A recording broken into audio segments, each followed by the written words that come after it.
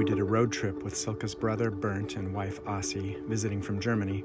One of the highlights was Glacier National Park's Logan Pass, where we did a three mile hike to Hidden Lake Overlook.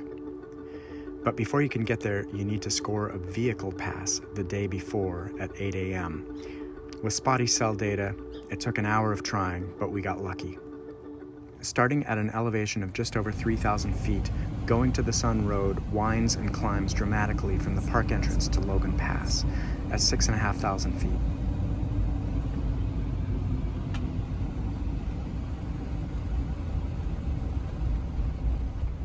There's a visitor center with a bunch of interesting info. Evidence of water. And then we hiked along a boardwalk through stunning scenery to Hidden Lake Overlook.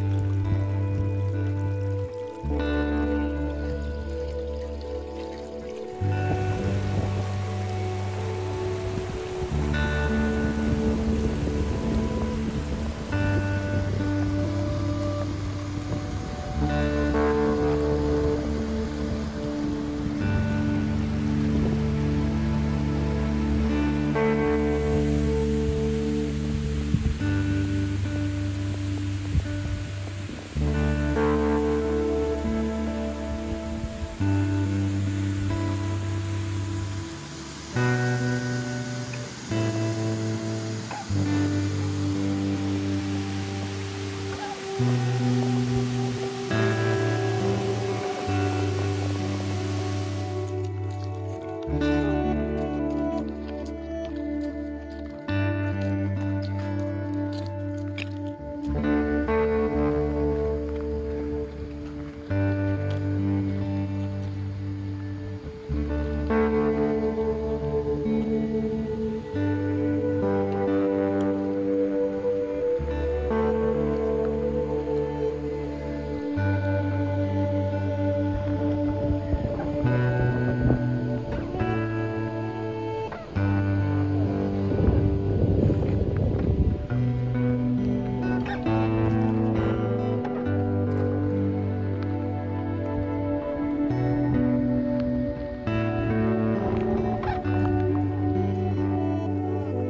We saw marmots playing.